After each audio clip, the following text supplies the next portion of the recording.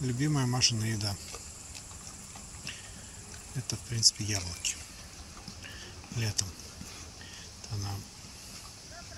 У нас, когда мы гоняем вес, ну, в смысле, набираем, она съедает у нас до мешка в день. А иногда и по, по два мешка. В зависимости от того, что Вероника Георгиевна что-то мне говорит, понимаете, а я должен быть все время на связи с женой.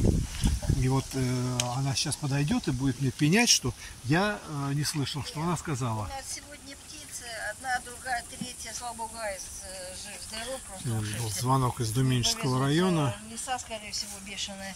что там аистенок выпал из гнезда. Вот. И э, этот самый.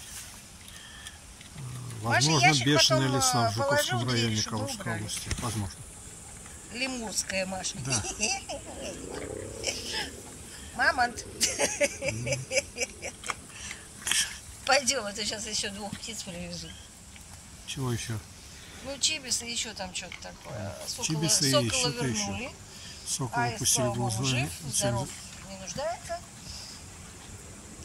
Все. Полисия бешеная, скорее всего, ну, сейчас Кстати, передадут. она играла свою штуковину. Куда надо, с какой?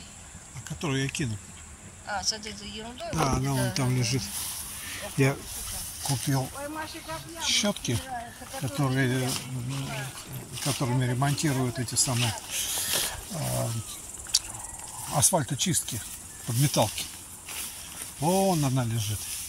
Ну, естественно, как же, Маша, Маша же не могла просто так использовать эту вещь, чтобы она не пропадала.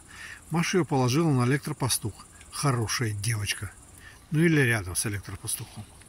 Я думаю, что-то ей какую-то чесалку или такую игрушку из этих штуковин сделать.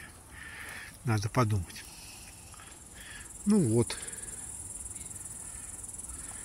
Машечка, хулиганяшечка.